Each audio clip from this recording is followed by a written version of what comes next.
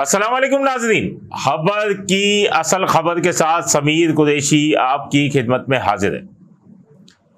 بات کریں گے اسمگلنگ کی۔ اسمگلرز کے خلاف گھیرا بڑا تنگ ہوا ہوا ہے۔ موچکو سے بلوچستان سے موچکو آنے والی گاڑیوں پہ کڑی نگرانی رکھی ہوئی ہے۔ کوئی چیز آنے نہیں دی جا رہی۔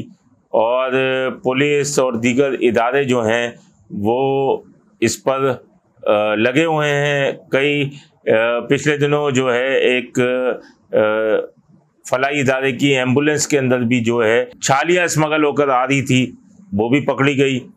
اس کے علاوہ اور بھی کئی سامان ہیں جو پکڑا جا رہا ہے۔ مسلسل ڈیزل، ایرانی ڈیزل، یہ تمام چیزیں پکڑی جا رہی ہیں۔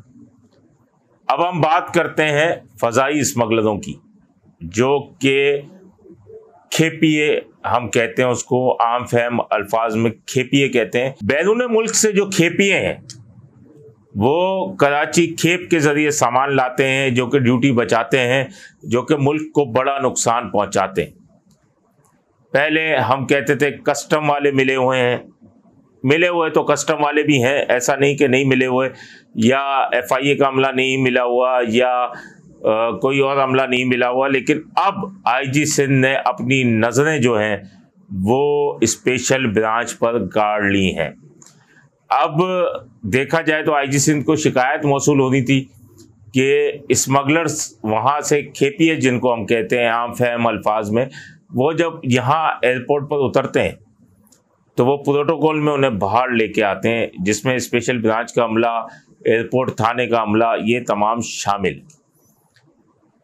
اس تمام چیز کے اندر کئی کسٹم والوں نے بھی شکایت کی، کئی کسٹم انٹیلیجنس والوں نے بھی شکایت کی، کئی ایف آئی اے والوں کی بھی شکایت ہیں تو وہ سب تمام چیزیں جو ہیں وہ ریکارڈ پر ہیں کہ وہ تمام چیزیں شکایت ہیں کہ کسٹم کہتا ہے کہ ہم نہیں کرتے اسپیشل برانچ کرتی ہے۔ اسپیشل برانچ کہتا ہے ہم نہیں کرتے ایف آئی اے کرتی ہے۔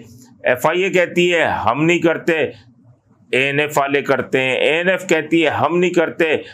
بعد اے ایس ایف کرتی ہے۔ یہ تمام چیزیں یہ اداروں میں اندر جنگ لگی ہوئی ہوتی ہے۔ لیکن آئی جی سندھ نے اسپیشل برانچ کو بہت ہی نوٹس کیا اور اس کے بعد اسپیشل برانچ کے دس اہلکار جو ایئرپورٹ پر تعینات تھے، ان کو وہاں سے ہٹا دیا۔ اور ایئرپورٹ تھانے کے چھ اہلکاروں کو وہاں سے ہٹا کر یہ سولہ افراد جو ہٹائے، ان کے پاسز بھی فوری طور پر منسوخ کر دیے گئے۔ اب یہ ایئرپورٹ کے اندر نہیں جا سکتے۔ بڑی شکایت تھی ایئرپورٹ تھانے کے تو اسپیشل برانچ والوں کی جو اسپیشل چلاتے تھے، ان کی بڑی شکایت تھی کہ وہ اندر سے لاتے ہیں، جس میں غفار کا نام بھی تھا اور ایک دو اور نام بھی تھے۔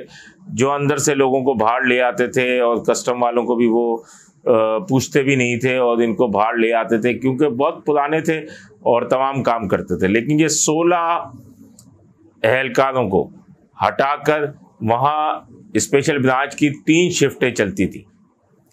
لیکن اب وہ ایک شفٹ کو ختم کر کے بارہ بارہ گھنٹوں کی، آٹھ آٹھ گھنٹے کی شفٹ چلتی تھی۔ اب بارہ بارہ گھنٹوں کی دو شفٹیں کر دی ہیں۔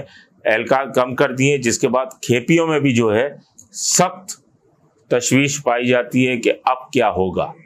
کیونکہ بہت سے کھیپیے جو تھے، وہ کسٹم ایف آئی اے کی لائن پر نہیں اترتے تھے، وہ اسپیشل برانچ کی لائن پر اترتے تھے۔ جبکہ اسپیشل برانچ کا وہاں کام یہ ہوتا ہے کہ وانٹیڈ کوئی وہاں جا رہا ہوتا ہے تو وانٹیڈ کو پکڑ کر ایف آئی اے کے حوالے کیا جاتا ہے اور ایف آئی اے پھر اس کو اپنے حساب سے دیکھتی ہے کہ بند کرنا ہے، کیا کرنا ہے، اسے اینٹی ہیومن ٹریفکنگ سیل کے حوالے کرتی ہے۔